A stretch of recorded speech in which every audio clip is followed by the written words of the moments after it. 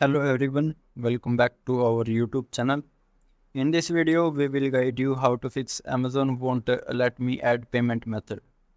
So without wasting the time, let's dive into the solution. First solution how to fix this problem is uh, update your payment method on Amazon. To update your payment method on um, Amazon, just uh, go to Amazon app and then uh, click on you from the bottom left corner then I click on your account. And after that uh, search for your payments. After that I click on this first. And then I click on set as a preferred payment method. After that you have to click on set a payment method then you have to select the payment method. If you have only one payment method then it will select automatically. But uh, if you have uh, more than then you you will have to set one. Uh, to edit or remove a payment method just select the card you wish to edit. And then select edit under the card name. You can update billing address select a default card, update card details or remove the card from your account. Second solution how to fix this problem is uh, verify billing information. Ensure that uh, your billing information and associated address matches your country or of residence. Updating the payment method in your account won't automatically change the payment method on any uh, open orders you have placed you need to go to the order uh, to change the payment method. For that time just again I come to your app and then I click on menu. Then you can click on orders.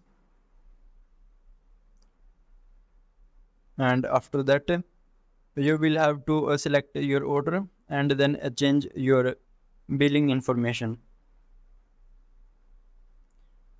Third solution how to fix this problem is clear Amazon app caches.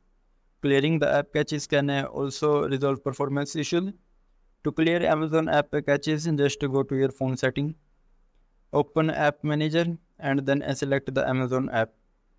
After that, click on storage and caches and then tap on clear caches to clear the app caches. Next solution how to fix this problem is update the Amazon app. Make sure you are running the latest version of the Amazon app. Check for updates by going to Play Store or App Store and then search for Amazon app. After that, select the app. If an update is available, you will see an update button next to the app. Tap on it to update the app to the latest version. Once updated, launch the app again. Last solution how to fix this problem is uh, contact Amazon support. If none of the above methods work, then you can contact Amazon customer support. To contact them, you can directly call on their number, which is 188 280 4331.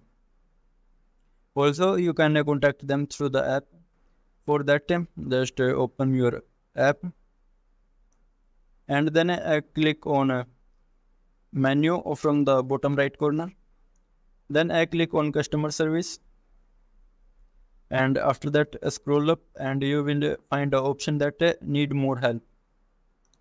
You can uh, search any topic of your help or you can click on chat with us.